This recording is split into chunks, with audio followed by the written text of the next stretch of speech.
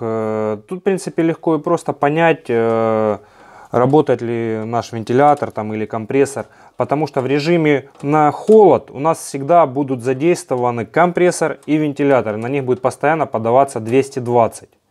Это легко выяснить. Смотрите, э, один провод это всегда фаза, он общий идет. То есть, если у нас подается питание на вентилятор и на компрессор, мы щупами ставим на фазу, L она обозначена на распиновке.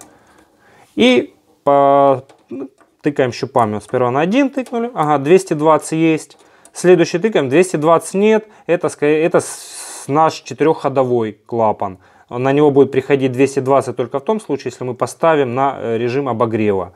Следующий проверяем, а, есть 220, это на компрессор идет. Если же э, у нас на, из этих трех два, к примеру, не подается питание, к примеру, компрессор у нас запустился, на вентилятор нет, э, то мы уже смотрим нашу плату управления, то скорее всего дело в ней. Если же у нас вентилятор запустился, а на компрессор питания не идет, также смотрим э, нашу плату управления, снимаем. Итак, следующая проблема.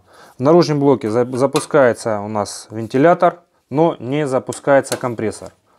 Э, что мы в первую очередь смотрим?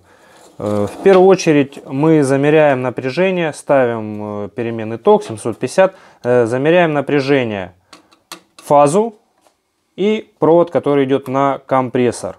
Замеряем 220, есть, смотрим дальше. Дальше замеряем конденсатор, меряем емкость.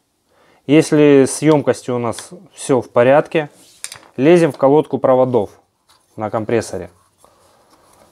Он прикручен обычной гаечкой. Снимаем колодку. Проверяем клеммы. Обязательно. Бывает такое, что отгорели клеммы.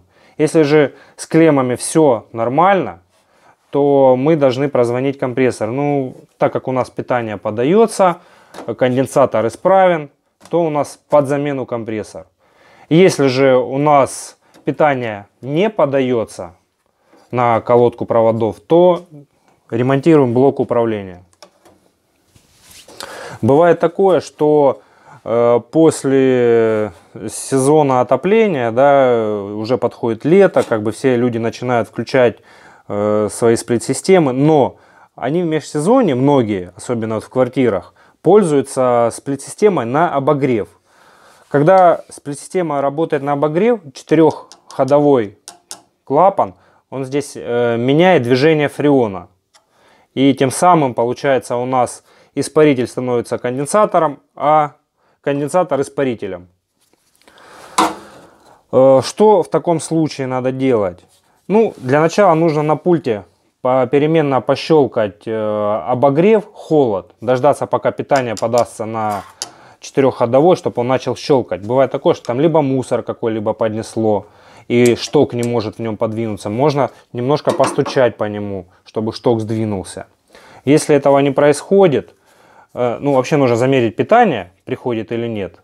После того, как мы замерили, питание пришло, 220, он не, не срабатывает то под замену четырехходовой.